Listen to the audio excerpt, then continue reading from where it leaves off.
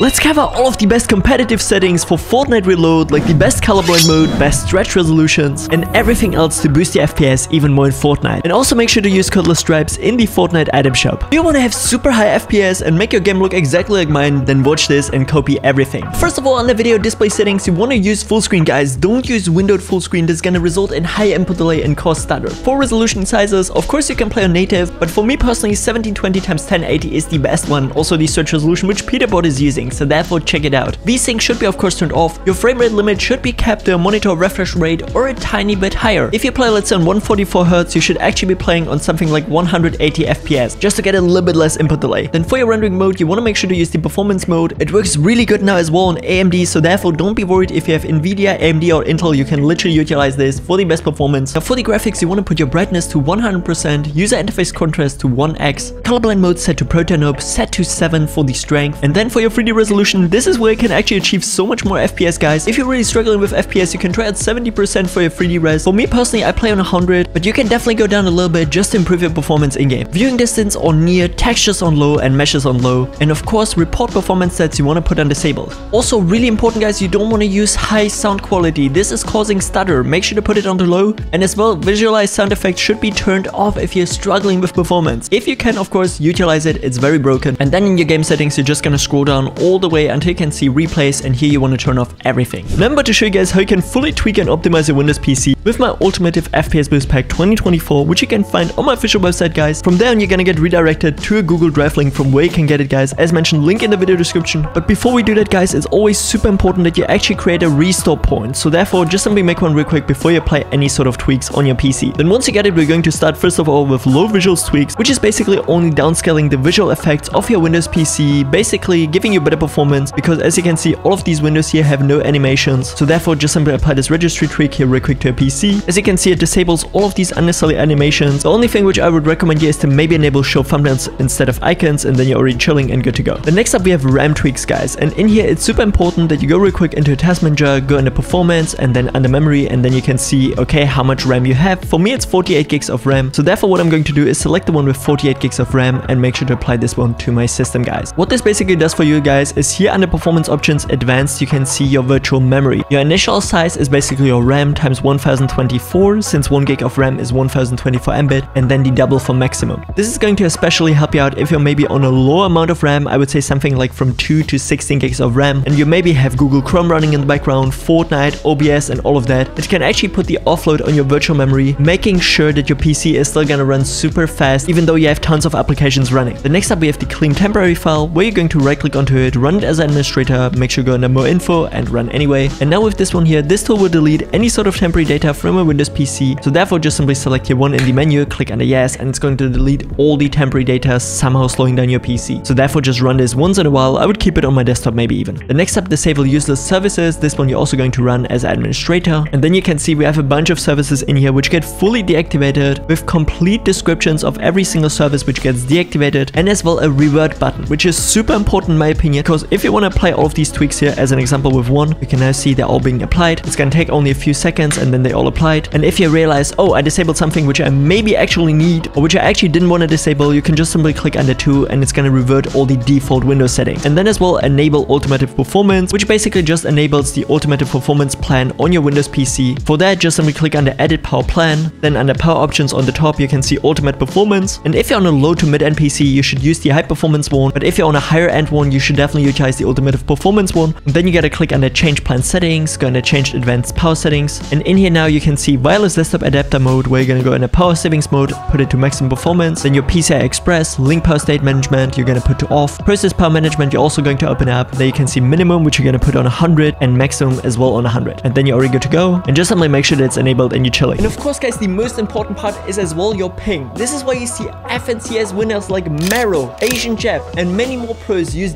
GearUp Booster. The best part is with my link in description you can actually try it out for absolutely free guys. GearUp Booster is gonna look for the best DNS server in your near always making sure that you have the lowest and most stable ping. Even if you already have really good ping guys it's still worth it because it's gonna make it way more consistent. The GearUp Booster is gonna actively in the background search for the best DNS servers always making sure that you have the best connection to Fortnite. As mentioned check it out for absolutely free with the link in the description guys. Now let's set up the best NVIDIA control panel settings. Go and adjust image settings click on the take me there. Then you can see all of the the best Nvidia settings which you should copy 100% guys. They're already selected here for the best performance, especially image scaling should be turned off, rather use a stretch resolution actually in Fortnite, then anisotropic filtering and anti-aliasing completely turned off except gamma correction. Background application maximum frame rate, you can kind of play around with it if you're maybe struggling with overheating on your PC. CUDA GPUs, make sure that you select your main GPU if you have multiple ones with integrated graphics. Then the low latency mode in general you can use on on or ultra guys. Many pros are arguing which one feels better, for me personally it's ultra. Multi-frame sample AA on off, OpenGL and all of that as well on automatic. Power management mode on prefer maximum performance. Refresh rate of course highest available. Quality you're gonna put as well on the high performance. Then as well make sure that vertical sync is completely turned off and then you're already good to go. Apply this and then you're already chilling. Next up going to change resolution. Make sure that you're under PC, under your normal native res and that you selected the highest hertz possible. Adjust desktop color settings, select your monitor, scroll down a little bit here until you can find digital vibrance which you're going to put to plus 75%. This is gonna make your game look so much better guys. The same as well with adjust video color settings where as well gonna select your monitor and put your saturation as well on the 75. This is going to make Fortnite look so much better and more colorful. You can test it out for yourself or revert as well to the default ones. And if you guys want to apply stretch resolution in Fortnite, you have to actually change it in your NVIDIA control panel or AMD settings and as well in Fortnite. And then NVIDIA going to change resolution, make sure that your native one is selected and then you click under customize. Then you can see enable resolutions not exposed by display and create custom resolution. Here's an example we're going to do 1720 x 1080 with the maximum refresh rate of your monitor. Anything else you can keep on automatic and click under test. Then once you click under yes, you should see that under custom resolutions now you have 1720 x 1080 which you're going to click on under OK and now it should appear here under custom. You can apply it now here in the NVIDIA control panel and if you for whatever reason have black bars on the left and right side guys, you want to click under just desktop sizes and position, go under full screen, make sure that GPU is selected and now you should have stretch resolution over your whole entire screen. But we're not yet done here since you actually want to go into your Windows search bar, search up Presenter 10 Presenter, click under local, press F on your keyboard for Fortnite game, go into save, then into config,